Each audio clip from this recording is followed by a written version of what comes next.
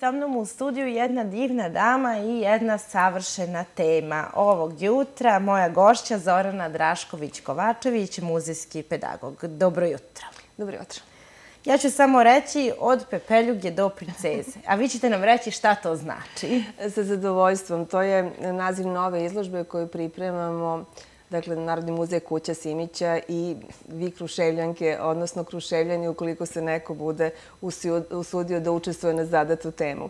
Naime, radi se o izložbi cipela. E, Pod naziv je Bajke o cipelama, tako da nećemo da, ne tražimo od vas samo par cipela koje su vam posebno drage, nego tražimo i priču koja će da stavi u kontekst taj par obuće bilo da je u pitanju nekakvo drugo, lepše, bolje vreme, nekakav doživljaj koji je za vas bio značajan u životu. Dakle, par cipela je jedna priča do kucane strane koja govori ne samo o vama i o vašoj ljubavi prema tom paru cipela ili prema cipelama uopšte, nego o trenutku u životu, o trenutku istoriji, verovatno, uh, koja se odnosi i na, i na tu neku istoriju našeg grada. Evo, ovde stoji svadbene, sportske, elegantne, baletske, sve cipele Bebeće, dolaze. Bebeće, dečije, da, ovaj, naravno muške, naravno i muške cipele. Ovaj, e, tu se pominje također i princ negde u pozadini, dakle ne bi ona posla princeza bez princa koji je uočio taj par cipela. Dakle, e, i kruševljani su pozvani, pogotovo što se kod njih mnogo drugačiji doživlje i vezuju za obuću, uglavnom sportski i tako. E, do kada traje prijeva za ovo?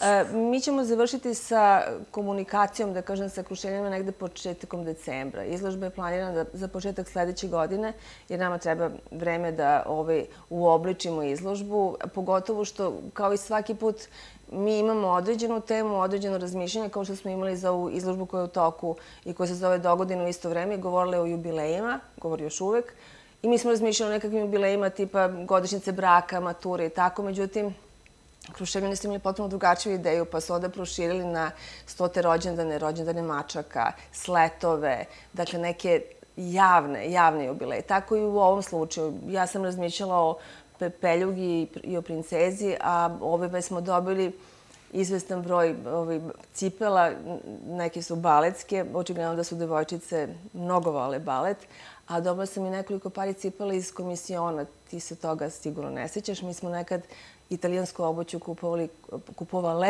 po komisionima jer ih nije bilo ovako u, u prodaji. Recimo sad vidiš, odeš u je li ovo Vidovdanska, ja, Vidovdanska ulica i tu ovaj, i nađeš neku radnju i tu su italijanski cipele. Ne, ne, kupovali se samo u Beogradu i samo u komisionima. E pa imamo nekoliko pari obući iz tih beogradskih komisiona mi žene smo poznate po tome da, da volimo cipele i da, da nam je to negde na vrhu naše liste da, da, da, za da, kupovinu. Od najvećih ljubavi, da. Ali eto, interesantne su možda i više te priče koje idu. Priče uvek, uvek, e, da, zapravo priče nam mnogo više govore. Predmet privuče pažnju, a priče mnogo više govori, jer kažem, mi u stvari pričamo o Kruševcu u posljednjih stotinu godina.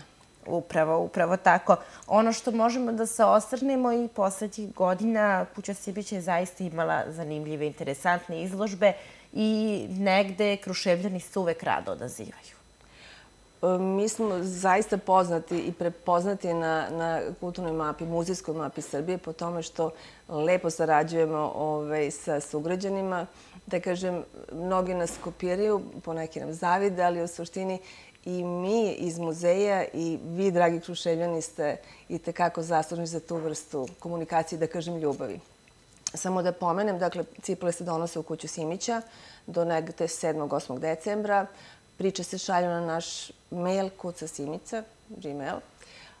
Vesna i ja smo tu od 8 do 4 svakog dana i subotom. Izvolite, donesite cipele, donesite priče. Ajde da ove napravimo još jednu lepu izložbu.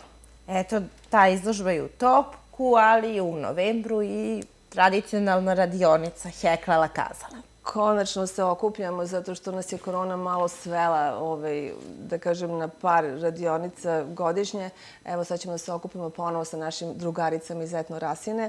I e sad ove veštije ovaj, sugrađanke koje su već članice Etno Rasine, one će raditi košulje, vezane košulje da kažem, za ovo bogato suvenirsko tržište, a mi manje vešte, da ne kažem nevešte, mi ćemo da, da ukrašavamo neke sobstvene odrevne predmete. Tako da očekujte poziv također očekujem da me pozoveš još jednom da ispričam detaljno kad i kako.